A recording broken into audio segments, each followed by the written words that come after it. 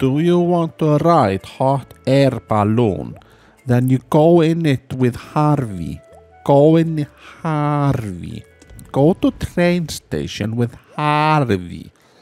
Harvey. Do you want to ride hot air balloon?